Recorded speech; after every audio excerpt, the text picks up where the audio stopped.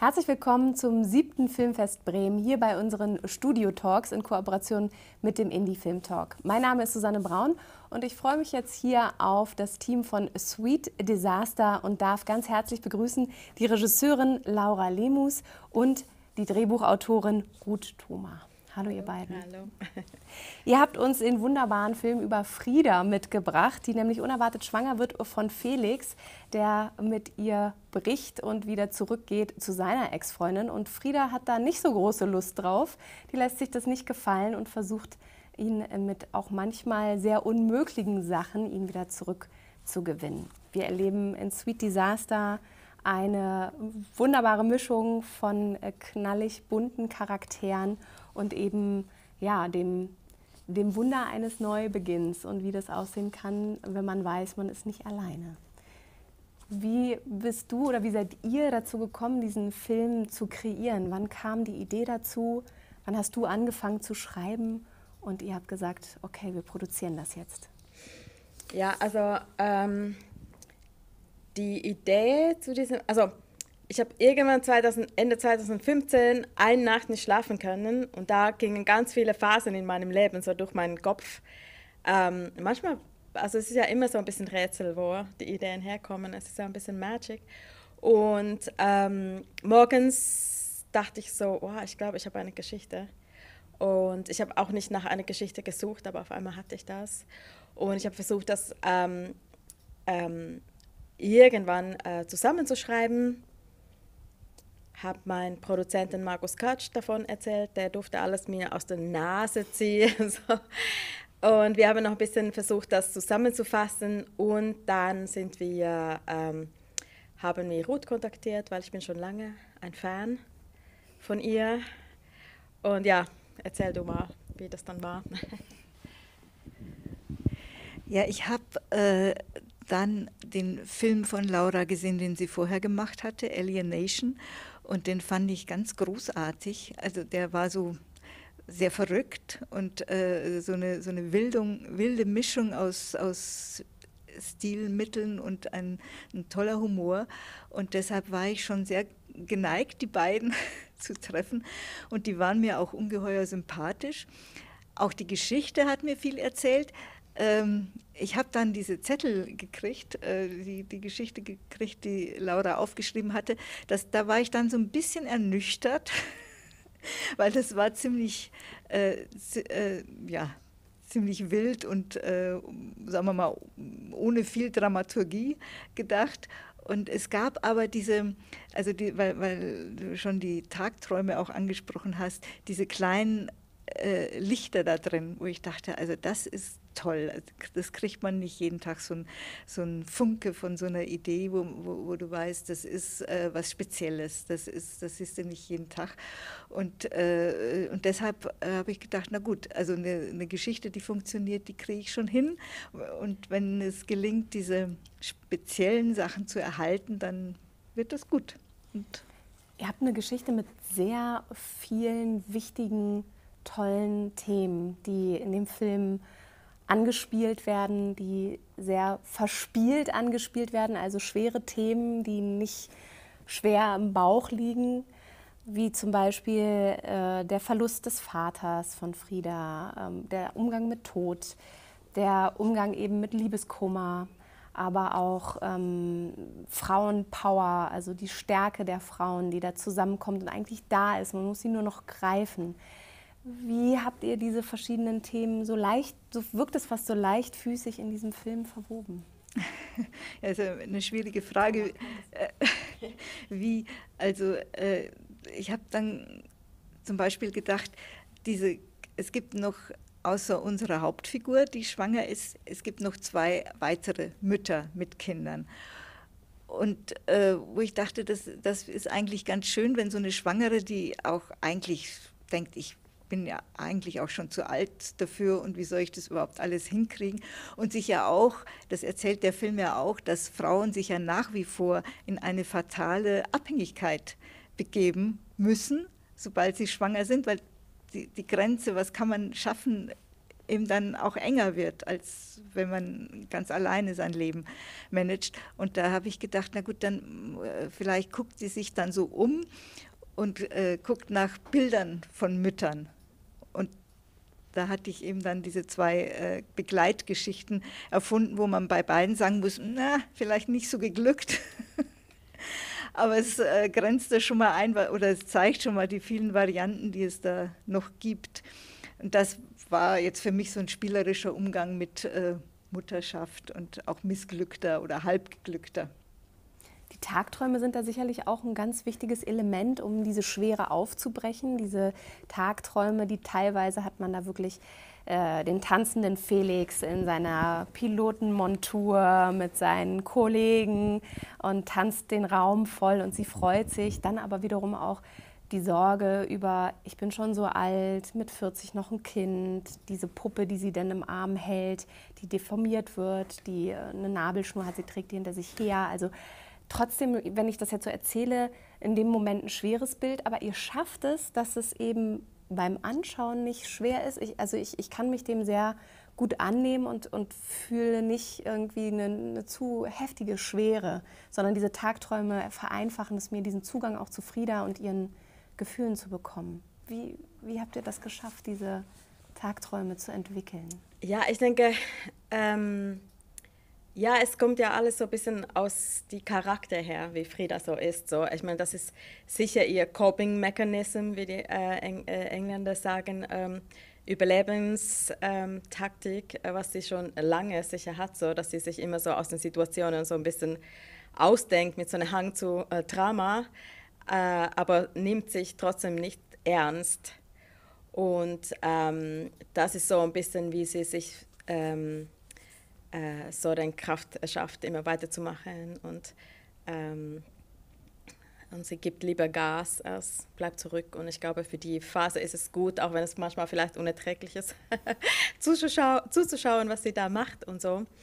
Und das hat natürlich auch super Spaß gemacht mit Friederike und ähm, mein ganzem Head-Offs und Teams diese Szenen zu kreieren, vom, vom Look her, vom Sounddesign, Musik und so. Das war wirklich, hat, also wie, ich habe äh, ich hab viel gelacht, so. also das war auch beim Schreiben, fand ich immer das Lustigste so, wie sie sich diese Geburt vorstellt in ihrem, ihrem wilden Fantasie, was sie hat man hat ja diese, also ich habe mich total angesprochen und abgeholt gefühlt. Man hat ja manchmal diese wilden Fantasien oder halt einfach diese Tagträume, die so in einen hineinschlüpfen und die dann auch manchmal einfach so aus einem herausplatzen, so wie die Luftballons aus ihr herausplatzen, als sie eigentlich Felix nur sagen will, hey, ich bin schwanger. Und so hätte ich mir das vorgestellt, wie du darauf reagierst. Ähm, sie hat ja nicht nur, also Frieda hat ja nicht nur ähm, verschiedene Verbindungen zu alleinerziehenden Müttern. Sie hat auch eine besondere Freundschaft, die in der Zeit äh, sich entwickelt, nämlich zu Yolanda, einer, ja, sehr, sehr, ein, ein, junges Mädchen, die eigentlich gerade jugendlich ist, auch gerade vielleicht sich da auch von ihrer Mutter ein bisschen entfernen will, selber die Welt entdecken will, totaler Nerd ist, ihren eigenen Lab hat, wo sie bastelt und technisch unterwegs ist. Wie habt ihr diesen Charakter kreiert? Wie kam es dazu, dass ihr gesagt habt, ja, Frieda hat noch eine Freundin oder da entwickelt sich eine Freundschaft, aber das ist keine Gleichaltrige? Äh, ich glaube, äh, dieses Nerdtum, das hattest du schon mitgebracht in der ersten Idee. Das fand ich auch äh, total interessant, dass, dass man da eine Person hat, wo das Alter eigentlich nicht zusammenstimmt, die aber trotzdem auf, ein, auf eine Weise zusammenpassen, auch weil Frieda sich das ja ganz stark bewahrt hat. Also die ist ja auch nur ein Kind in, mhm. in, in vielerlei Hinsicht. Und deshalb äh, kommen die beiden auch so gut klar.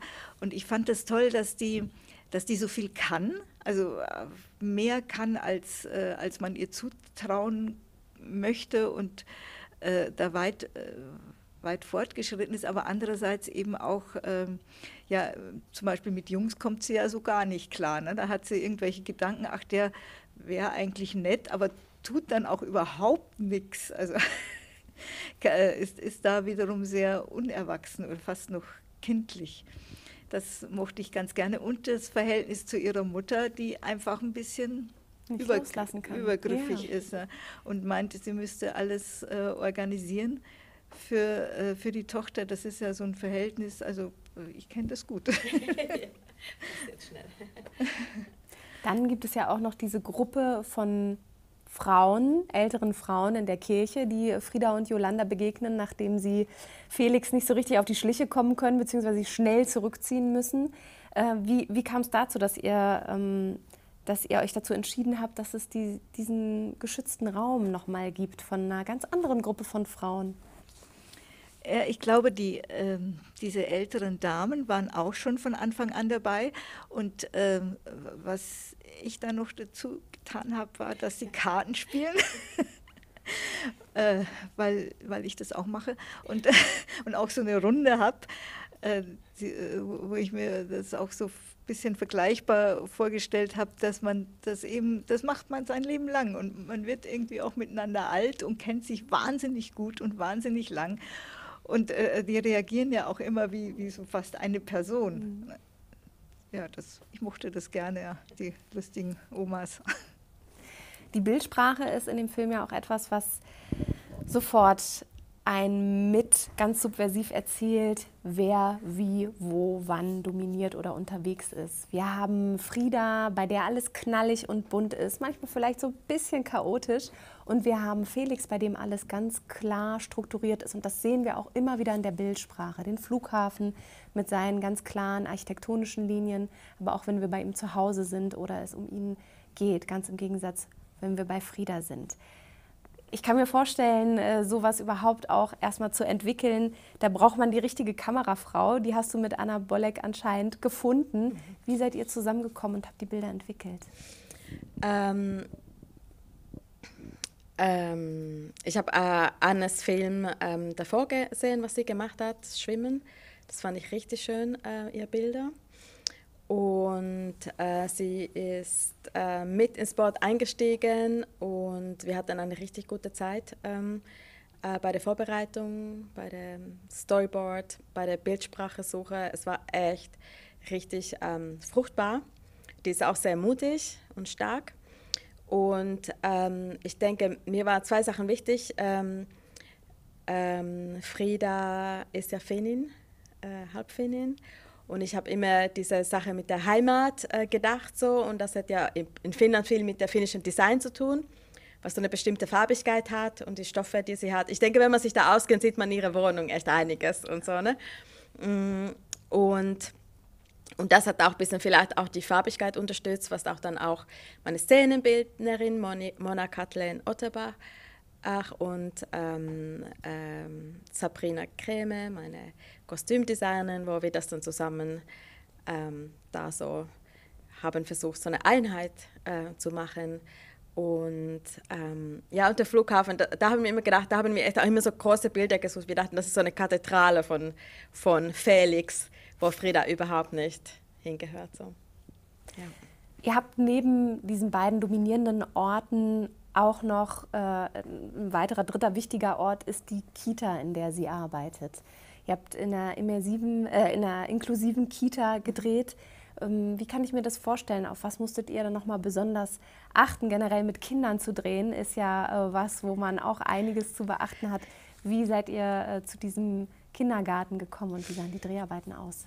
Also ähm, wir haben zwar in einer Kita gedreht, aber wir haben es uns total umgestaltet. Ähm, äh, und ähm, wir haben meine Regieassistentin Kim Doyen hat, hat die Kinder gecastet. Wir haben dann zusammen da ähm, ähm Kinder, tolle Kinder gefunden, deren Eltern halt ähm, sehr aktiv waren und uns unterstützt haben. Wir hatten super Kinderbetreuung. Also mein Team war so eine Kinder-Whisperer. Also, ich, also jeder war so super mit den Kindern und es war echt lustig. Also die haben natürlich immer eine bestimmte Zeit, was die im Set sein dürfen. Und ähm, es passiert immer unerwartete Sachen, das kann ich sagen. Ähm, es war echt lustig. Wir hatten ein paar Kinder, die viel Erfahrung hatten, die schon echt sehr professionell waren. Und dann hatten wir Kinder, die noch nie am Set waren. Und ähm, unsere Malmädchen Annie war super. Und ja, es war echt, es war echt schön, als sie da waren. Aber man kriegt immer nur genau das, was man braucht und so. Ne? Davor und danach passieren immer echt die lustigsten Sachen und so. Ne? Und, aber es war echt schön. Und das kommt auch über den Film rüber. Ich habe äh, den Film sehr genossen, ich habe sehr gelacht, ich habe mitgelitten ja. und ähm, war am Ende sehr befreit, dass dann nochmal die Gruppe der älteren Damen kommt und auch mhm. Frieda so ein bisschen zeigt, lass doch mal los. Ja. Du sagst allen anderen, sie sollen loslassen, aber lass doch selber los, lass dir helfen. Und äh, das habe ich für mich sehr mitgenommen, weil ich glaube, dass das häufig etwas ist, was man, ob jetzt als Frau oder überhaupt, äh, dass man das immer so von sich weist. Und fand das total schön, in dieser Form mit Sweet Disaster, äh, Disaster so miterleben zu können. Ja, das habe ich ihr so, oder wir sich auch ihr gewünscht, dass sie muss das nicht alleine schaffen. Ja. Und das, was ihr irgendwo fehlt, kann sie woanders wiederfinden. Und Frauen unterstützen Frauen und Mütter unterstützen Mütter. Und da sind unsere Omas, ich habe die immer Spice Girls genannt, die haben ja viel Zeit und viel Erfahrung. Und, ähm, ja. Eine letzte Sache muss ich noch fragen. Ihr hattet äh, der, der Baywatch-Soundtrack, der war auf jeden Fall auch sehr präsent. Ein Song, den ich äh, fast vergessen habe, aber den ich sehr mag und zu dem man gut tanzen kann. Und ihr hattet David Hasselhoff am Set. Wie habt ihr den denn noch gekriegt? Ähm, wir haben ihm wir haben von ihm äh, recht früh eine Zusage gehabt, weil er ist ja oft in Berlin. Und äh, er wollte da ein paar Sachen verbinden er war schnell dabei, als wir den Kontakt zu ihm hatten. Wir hatten so einen Zoom-Call mit ihm. Aber dann kam ähm, Covid, Corona und er konnte nicht zum Dreh kommen. Das war vor Impfungen. Und ähm, wir haben Hintergründe gedreht und wir haben einen Schnitt gemacht und wir wussten immer noch nicht, ob es klappt mit ihm.